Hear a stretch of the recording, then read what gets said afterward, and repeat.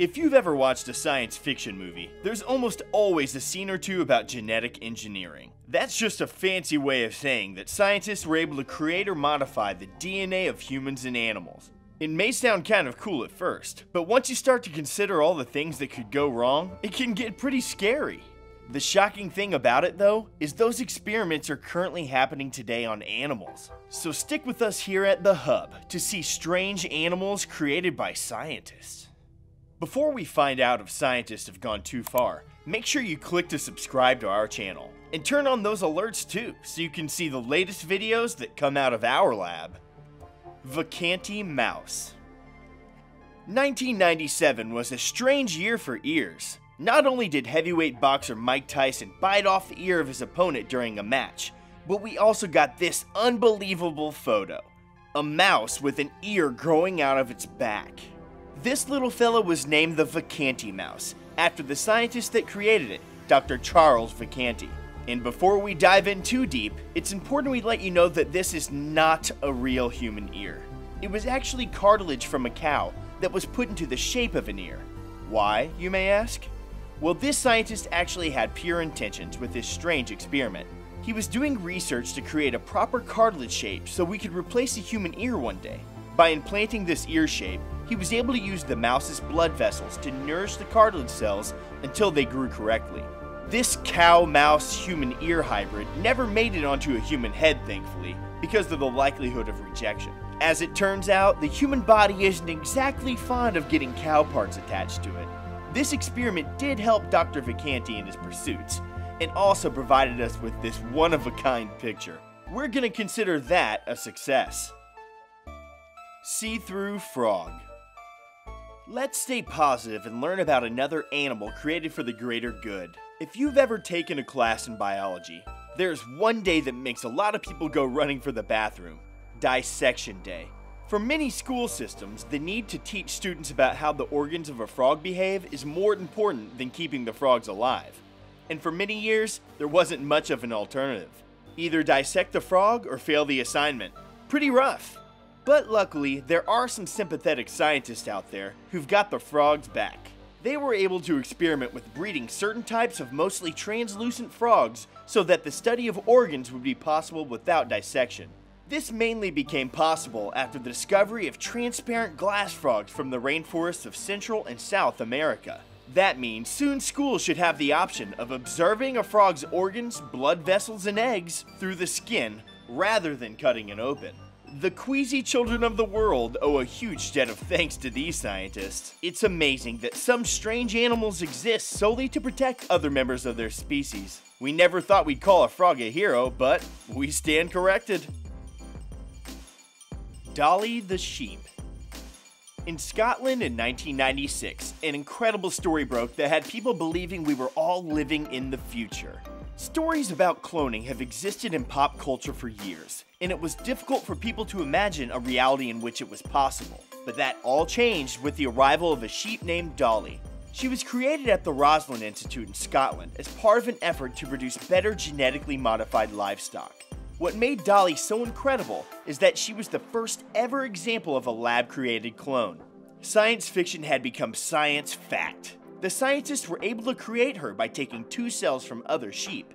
One cell was the mammary gland of a six year old Finn Dorset sheep, and the other was an egg cell from a Scottish blackface sheep. When she was born, the scientists immediately knew that they had been successful because of her white face.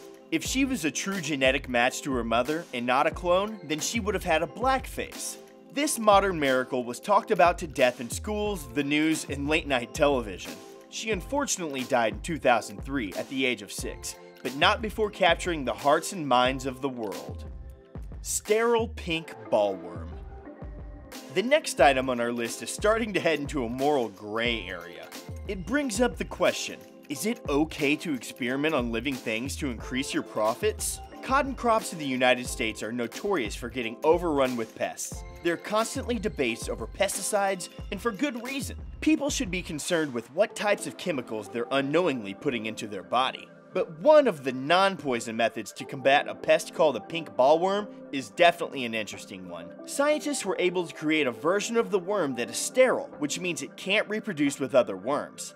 They then release these new sterile worms into the crops. The reason behind this is that the sterile worms will compete against the wild bollworms to mate, cutting the numbers of the newly born down significantly. The modified worms are sterilized by radiation and marked with a fluorescent indicator so they can be easily tracked. The scary part is that these scientists believe it's alright to sterilize living things that aren't cooperating. That sets up a troubling precedent for the future. What happens in the future when they decide another animal isn't lining up with their profits? Sudden Death Mosquito. If you thought killing off a certain animal was wrong because they ate up profits, what if they ate up you instead? Well, not exactly eating you, but they do suck your blood. Yes, I'm talking about the annoyance known as the mosquito. The ethical questions start flying when you consider the elimination of a species that is a constant nuisance. A company called Oxitec is responsible for this new type of mosquito called the sudden death mosquito. This is actually the very same company that created the sterile bollworm. This British company has insect genocide on its mind because the strategy they use with the worm is the same for the mosquito. They've programmed the bugs to die before they're able to reproduce.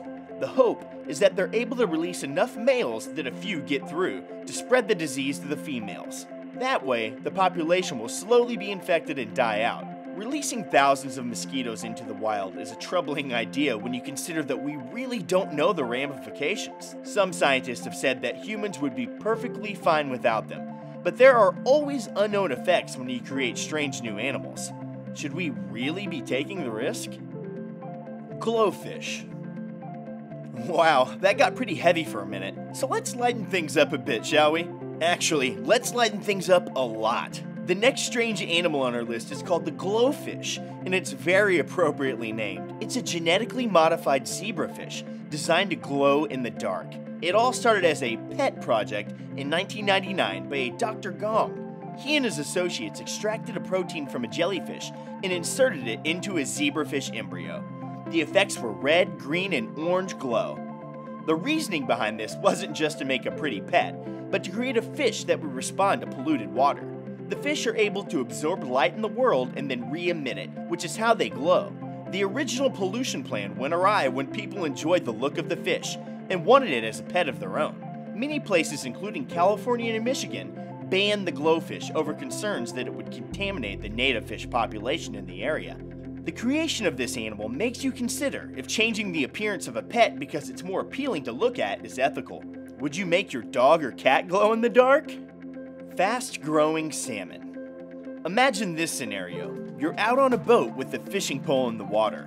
You feel a bite on the line and you reel it in with all your might, only to discover a salmon three times bigger than the average one.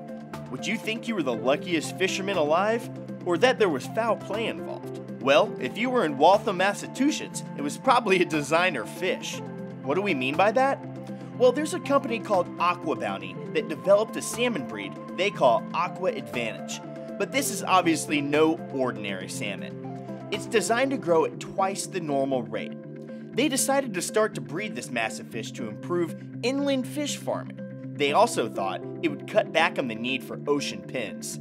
These fish are also sterile, so that means that salmon this size aren't gonna start popping up all over North America.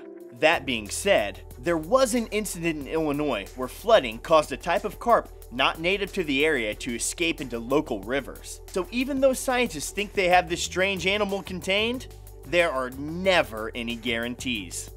I hope you like fish sticks. Ryukin Goldfish. What do you get when you combine the see-through frog and the glowfish? No, this isn't a setup for a joke. It's another strange and genetically modified animal on our list. Apparently, not able to let the Western world have all the fun, the Japanese created the Ryukin goldfish in 2009. It was created because of pressure from animal rights activists. You guessed it, they were upset that so many fish were being needlessly dissected. The Ryukin is see-through, just like the frogs on this list, so that they can be studied in classrooms without having to be killed. The scientists were able to create this breed by breeding together mutated hatchery goldfish with pale skin. The end result is what you see before you now the creepy looking fish with a visible heart, brain, and organs. It even has translucent scales. This fish may be perfect for teaching, but it also would be great to keep as a pet to scare your friends. Another thing that makes these superfish stand out is their lifespan. Most goldfish are known for dying very quickly, but not these ones. They can live for up to 20 years and grow 10 inches long. We bet you've never heard of a goldfish like that. Featherless chicken. In Tel Aviv, scientists have created what may be the most horrible and terrifying creature ever known to man. Just kidding, they made a featherless chicken, a goofy and hilarious looking breed of chicken that would be more at home in a cartoon than in real life. They were created by crossing together two separate types of chickens. The first was a broiler chicken, which are the large meat heavy ones. These are the kind of chickens found in farms all across the world. And the second is the featherless neck chicken. Apparently, they wanted to make a chicken that was more energy efficient and could survive in warmer climates. This would save chicken farmers in the future from having to buy expensive cooling systems. The idea behind this particular chicken is that it would grow faster by transferring the energy it normally uses for feather growth. Of course, chickens likely would never have evolved like this naturally, so it calls into question the reasoning behind it. Are we really okay with changing the entire genetic makeup of an animal just so we can save a few dollars? It seems like that's the pattern for a good majority of animals on this list, huh? Popeye pigs. Our last strange animal exists to answer a question we didn't know existed. Should we create a hybrid plant and animal? The obvious answer should be no way, or why would you do that? But the scientists behind the Popeye pig didn't see it that way. You see, this is the first attempt in the world to genetically engineer a mammal to contain plant DNA. The strange reason behind this is simple. They claim that the pork produced from this pig is much healthier than a normal pig. A rational person's thoughts might go to an easier solution. For example, maybe eat less pork? Or when you're served pork at dinner, maybe eat vegetables on the side. These Japanese scientists apparently couldn't be bothered with such thoughts and combined spinach genes with the proteins in the pig's flesh. It's hard to justify playing mad scientist just because you can. A character from a very famous movie once said, your scientists were so preoccupied with whether or not they could, they didn't stop to think if they should. The name of that movie? Jurassic Park. I hope you're happy with yourselves, Japanese scientists. Now we're only a few steps away from a dinosaur attack. Jeez. Well, we've reached the end of this genetically modified video. Be sure and keep watching The Hub for more videos that are scientifically proven to be fun to watch.